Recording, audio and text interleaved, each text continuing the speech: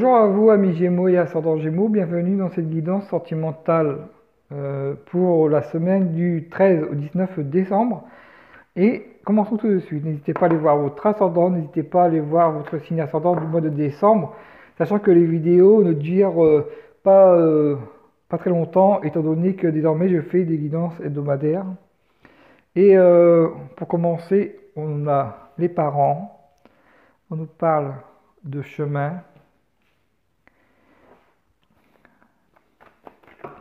Alors, par rapport aux parents, ça peut être euh, une question de différence d'âge. Oui, c'est possible. Ensuite,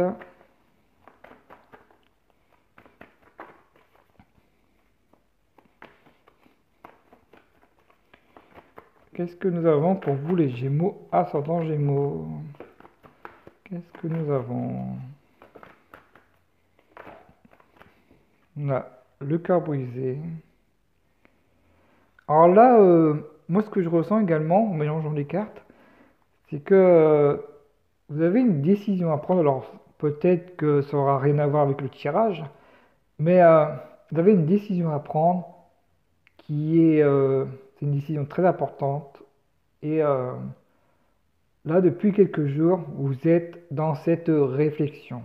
C'est comme si que, d'un sens, vous êtes en pleine méditation, même si euh, vous n'êtes pas en méditation pour en parler. Mais euh, c'est comme si que vous étiez un peu comme euh, les, Bouddhas, enfin les bouddhistes. Pas le Bouddha, parce que voilà, il n'y a qu'un Bouddha, mais comme les bouddhistes qui sont en pleine. voilà, quand ils sont en pleine méditation sur eux-mêmes, etc. Et vous, d'un sens, c'est ce que vous faites depuis quelques jours. Ça ne veut pas dire que vous êtes enfermé chez vous, hein. mais euh, que vous, intérieurement, vous êtes mis dans une, voilà, comme je vous disais, hein, dans une forme de méditation intérieure, afin de prendre, de mieux prendre cette décision. Ça peut être professionnel, ça peut être sentimental. Au niveau sentimental, ça peut être euh, le fait, euh, bah oui, je vous parle professionnel, mais euh, même si c'est sentimental, mais ce n'est pas grave. Mais euh, au niveau sentimental, ça, peut être le fait de vous séparer, de divorcer, et ça peut être également si vous êtes célibataire, eh bien de déclarer vos sentiments à une personne, parce que vous en avez marre de, de lui cacher vos sentiments, c'est possible. Au niveau professionnel, ça peut être changer de travail, ça peut être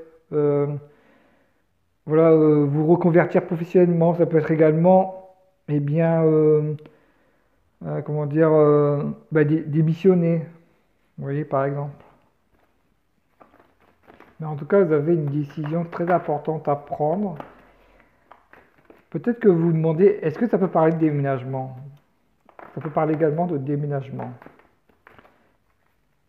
Mais en tout cas, quoi qu'il arrive, ça parle de décision très importante. On nous parle d'amitié. Vous voyez cette notion de différence d'âge avec un ami ou une amie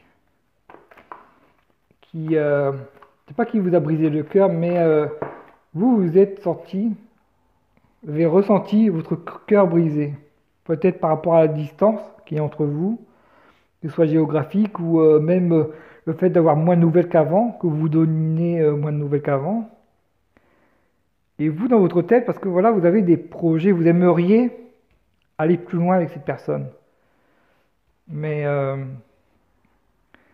voilà, le problème, c'est euh, que pour le moment, eh bien, vous donnez pas beaucoup de nouvelles. Peut-être éventuellement, peut-être aussi que parce que vous, et vous savez, vous êtes consciente, que euh, vous avez besoin justement de cette distance, parce que vous avez des choses à régler. Et vous voyez, il y a deux choses. Il y a un côté paradoxal parce que euh, vous savez que vous avez besoin de prendre du temps pour vous, vous voyez ce côté euh, de méditer intérieurement, etc. Et, euh, mais qu'en même temps, cette personne, le fait de pouvoir, de ne plus avoir de conversation, de communication avec cette personne régulièrement, comme c'était le cas il y a quelque temps, eh bien, ça, ça vous manque. Et ça vous manque de plus en plus. Mais en tout cas, moi, je ressens que cette, euh, ce côté méditatif, eh bien finalement vous rapproche de plus en plus de cette personne, de cet ami qui, euh, vous, vous ne voulez plus en faire uniquement un ami.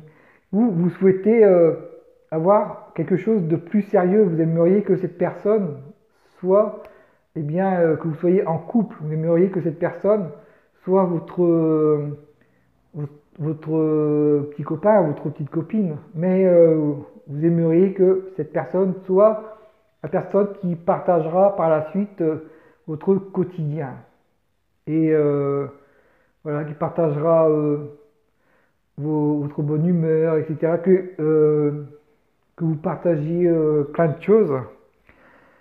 Et bien voilà pour vous les Gémeaux, ascendant Gémeaux. N'hésitez pas, si vous souhaitez une guidance personnalisée, une consultation ou un soin, me contacter via jérôme.énergéticien80.gmail.com. Passez une bonne journée, prenez bien soin de vous, de ce que vous aimez. Je vous dis à bientôt.